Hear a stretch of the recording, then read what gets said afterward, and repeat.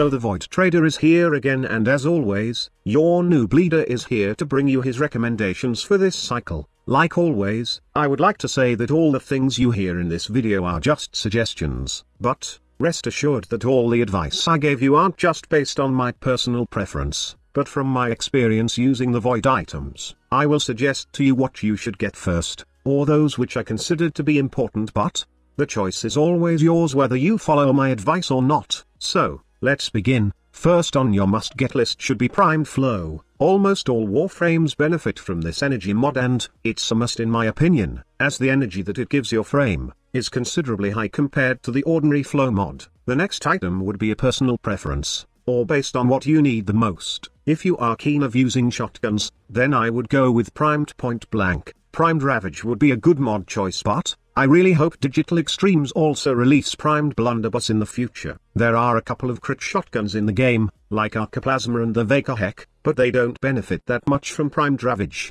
because the ordinary blunderbuss only gives a small critical chance boost. It would take a Riven to see the beauty of primed ravage but, there's a couple of things you can incorporate on your loadout, like the Vigilante mod set, or your Adarza Kavat, to get as much critical chance, and utilize primed ravage. In the end, the choice is up to you. However, if you are one of those players who would like to have a few platinum for this Void Trader cycle, then I suggest you to get as many of this relic.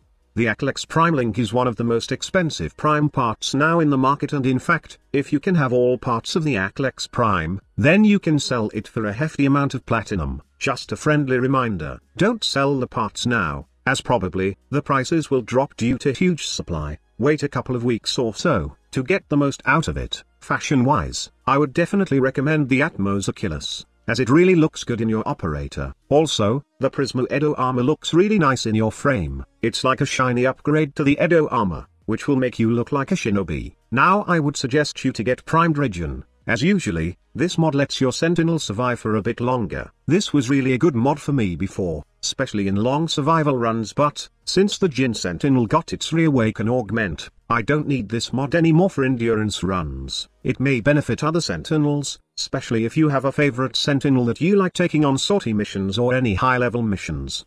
The choice is yours. In terms of primed fast hands, to tell you honestly, I don't incorporate this on any of my builds yet. I was using this for my snipers in Eidolon hunts in the past but, that was way back when the first Teralyst was released, and yes, there's an arcane called Arcane Tempo for snipers, so, it's better to use that arcane, than place this mod which takes a lot of mod capacity. Some say that it's good for bows but, I really don't see much of a different. I really prefer damage on my mod setup and for now, I don't have a problem with reload speed. So, I suggest you get this mod when you have the extra resources. You never know in the future, Digital Extremes may release a rifle that needs this primed mod. Primed Morphic Transformer is also optional, and just get it when you have the extra resources. Don't ever think that this mod will help you progress in Archwing mission, as playing with a friend will be much easier than leveling this mod. If you have the resources though, and currently mean max in your Archwing, then do get this mod.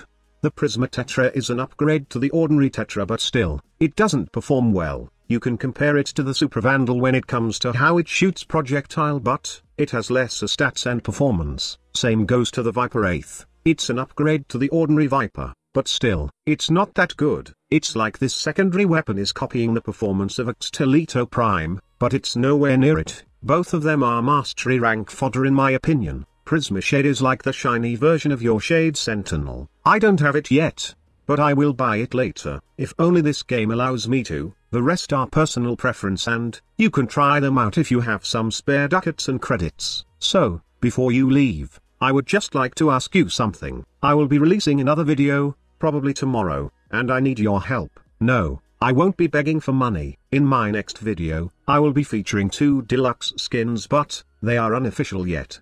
They really look gorgeous and, I would like you guys to watch that video, and share it to the community again. I promise you, the deluxe skins are pretty amazing. So, who are the frames that will wear these deluxe skins you asked? Well, find out on my next video. For now, you can make a wild guess on the comment box below. Also, I will announce the winner of the Vault Prime Access Pack in that deluxe skin video and, I will be doing yet another giveaway. So, be sure to watch it. Thank you so much for watching, Squad Leader signing off.